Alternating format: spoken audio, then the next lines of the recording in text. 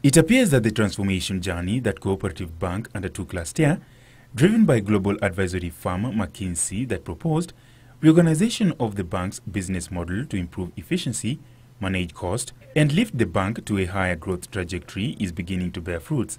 In 2015, the bank spent 1.3 billion shillings in the restructuring exercise that saw 160 staff retrenched. I think that has given us incredible opportunity in terms of uh, exposing the very young and dynamic staff that we have in the bank, the younger people. They have been given opportunities to, to, to and they're doing extremely well. And out of the, the, the retrenchment program that we did last year, the cost saving this year alone will be in the range of 600 million. Consequently, operating expenses marginally increased in the first quarter of 2015 to 4.3 billion shillings, up from 4.2 billion shillings.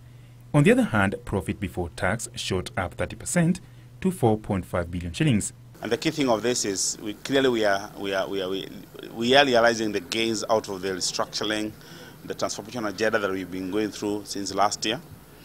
Uh, as you're aware, from last year we, we, we, we went through an aggressive restructuring where then we, we have this uh, Soaring Eagle transformation project that we're implementing, uh, focusing on cost, cost containment, operational efficiency, and um, growing business in the bank. Renaissance Capital gave the bank's restructuring process a clean bill of health, predicting a strong base for growing non-funded income streams, which has increased 8% to 2.9 billion shillings from 2.7 billion shillings. Muriuki is confident that the South Sudan business would break even this year from a 550 million shillings loss recorded in the 2014 full year results. In 2014, South Sudan had not done well. I'm saying in 2015, South Sudan has almost broken even. And I said, they, as a March, they only have a small loss of 12 million.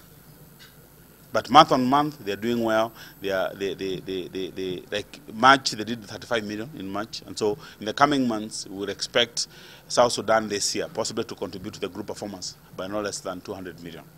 The bank is currently undertaking automation of its loan appraisal, which will help it manage non-performing loans, which makes up 4% of its loan portfolio that stands at 184.2 billion shillings in March this year. Ronald Willie, Business Defined.